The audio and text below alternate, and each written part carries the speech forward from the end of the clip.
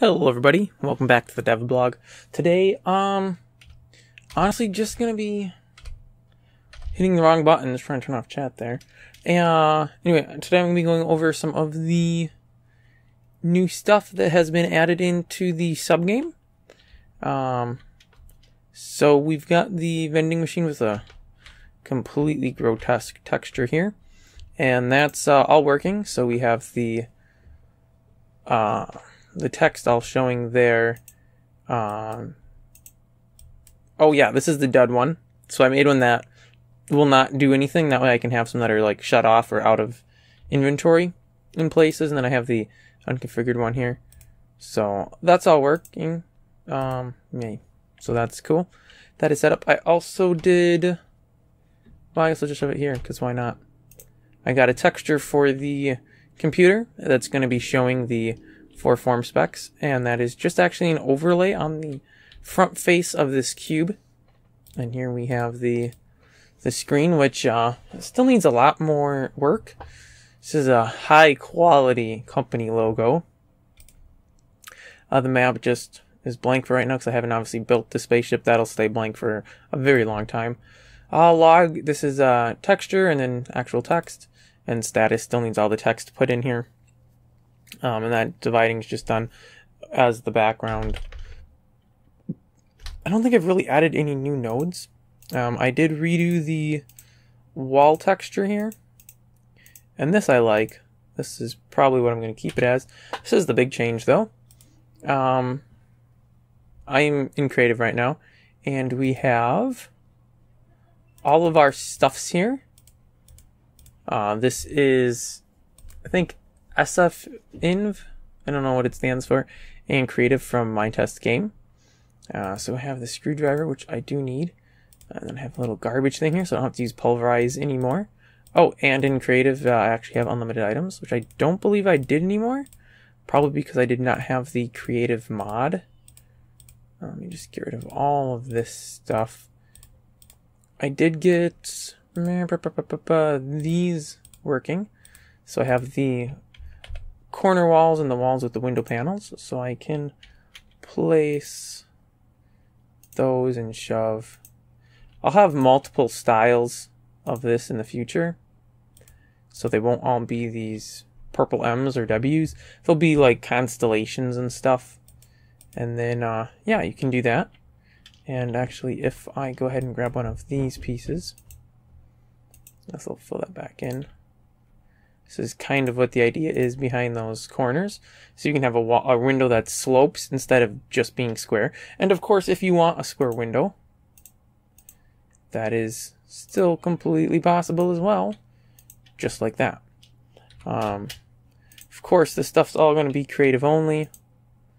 Because I'm not making craft recipes for any of it. But it will be there. Uh, I think that's really it for nodes that I've added since the last video. Um, I think really didn't do a lot of adding of nodes. It was a lot of code refactoring and getting the the GUI here to work. So let's talk about the GUI and the user interface and the user experience. So you will recall, possibly if you watched previous videos, that uh, I had put a bunch of stuff into this gamer file here. And this had all of the default layouts um, and a bunch of stuff in here. And it didn't really make sense as I was going on because SF Inv and the creative mod, whoever that is, creative up here, they both needed those bits of information. It's like, this is really dumb to make everything pull out of this gamer file that's supposed to hold the 3D model, the texture, you know, and the code that makes all that work. So I was like, well, so I was thinking for a while, okay, well, let me make a mod that's like UI and I'll put all of the user interface stuff in there. But then I was thinking about it a little more. I was like, you know, that's really not the most optimal. Let's make a common mod. So I have this mod called common. And uh, so far, it has one collision box and a few form spec lines. Uh, so we have the common GUI background, which is the background here, background image, the GUI slots, and the survival form, which actually, um, No, something I wanted to show you. Okay, so when you pull up inventory, we have this um, kind of slightly alpha background. When we do the computer here, the background does not darken at all. That is controlled, I know totally off topic, but that is controlled by Okay, so we have the form base that I whoops that I wrote here, um, and the background color is whatever hex six Fs is, which I think's black. It's black or white, and then the last two are zeros. Those last two digits control alpha. From what I could see, this is backwards of how pretty much everything else works. Everything else, from what I've seen, it looks like alpha they do first, and then they do the three sets of hex for the colors. So I'm just mentioning that the alpha goes last, which is why it wasn't working in the previous video when I was trying to make it work. But back to common here. I have one collision box in here so far. I have common, collision box for stairs, and if I go to spawn, I think that's under objects. Uh, Nope, maybe under floors. Yep, here we are, spawn stairs. The selection box and collision box are common, call box stair. So every single time I have a mod that uses a collision box that's like the stairs, I can just use the common call box stair instead of re-putting in, it's the same as ramp 2 actually, instead of redoing this code in every single file. So it'll save me some code. Uh, and then if I ever need to change it for some reason, I'm just changing in one place instead of a whole bunch of places. Of course, the downside to that, which isn't really a downside, but I have to create a depends file in every mod that's going to use anything from common, which no big deal. It's a file that has one line that says common on it. And then the form spec,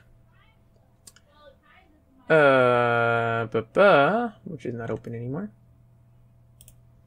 that has the background, uh, all this stuff here.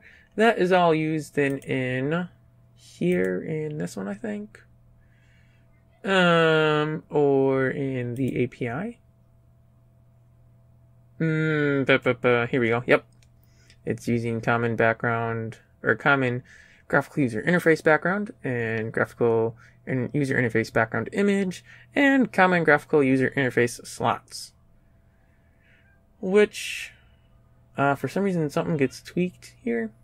I'm not really sure how this mod works. Not gonna lie, uh, it's confusing to me, but I'll get it tweaked around to work the way I want it. Because right now, uh, I do have this little problem where I have some squares that are off the screen. Now, I'm thinking, because the game's not going to allow for creative mode at all, it might not be an issue. Like, I potentially, once I'm done building my spawn center and stuff, I could delete the creative and sfinv mod without any issues because then it would run exactly like it runs here with just creative mode turned off, which gives me this layout which works just fine. So that I may or may not do, I don't know. I do want to add a trash here because that's way easier to just dump stuff in the garbage. Oh, and another thing I wanted to mention, um, let me pull up Google Chrome real quick. Somebody left me. I didn't want to, ah, did not want to run that. And let's go to YouTube, my videos. Um, ba ba da da dum. Uh, under community, yeah, I got a whole bunch of videos here. Okay, and I'm not looking for that. Here we go. Acapulco Jick. I don't know how exact this was pronounced, but he had a really good idea here. Um, to change how the ores work, and I gave it some thought. And uh, I might do a huge overhaul. So instead of just dropping lumps, you will get like iron saturated stone or iron rich stone, something like that. And then you would take those stones and you'd have to run them through like a crusher or a grinder or something to extract the metal out.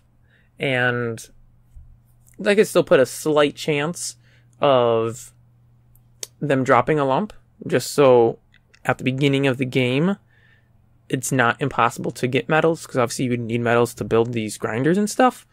And um, I could also make it that the iron rich stone you could cook in a furnace and just make it take really long, like I don't know, 30 seconds for one, and it would give you one lump.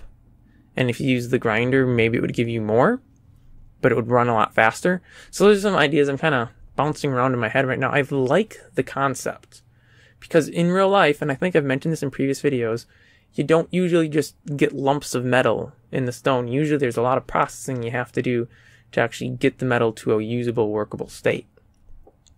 Of course, I say this as somebody who's never done any mining of metals at all, and I've never visited any mines other than a um.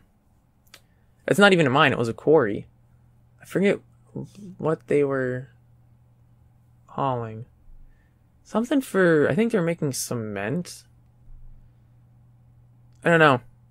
It's been a minute since I was there, but yeah, they were just collecting stone pretty much, limestone maybe that was then processed and used for making cement or asphalt or I don't remember.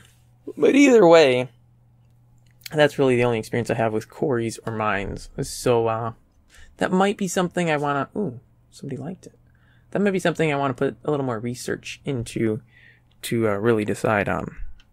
But that's uh, really pretty much going to do it for this one. Code's all on GitHub, as always. And uh, it's way ahead of what you see here because this video is recorded pff, like two months past That's when it was released. Which uh, is going to be interesting, I think, as people start looking at this code. And like, this code, there's all sorts of stuff in this code that the videos haven't covered. This is confusing. Well, that's why. Because these videos are recorded super far in advance. Because, yeah, I'm, I'm doing, I don't know why I'm scrolling. I'm making so many changes and I'm making videos about it, but I'm only releasing one a week. And I'm making three or four videos a week.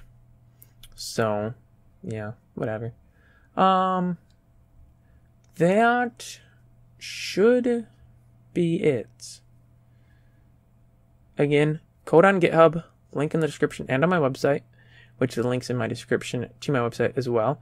If you found this video interesting, please do not hesitate to hit the like button. Um, supposedly that helps out with making my video viewable to more people or something. I have no idea.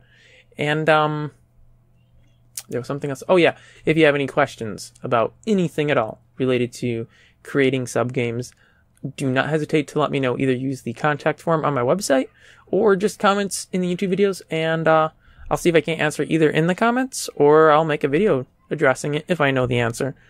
And uh, unfortunately, I'll have to wait like two months to get that video, but you'll at least get the answer in a video type. So there you have it. Thanks for watching.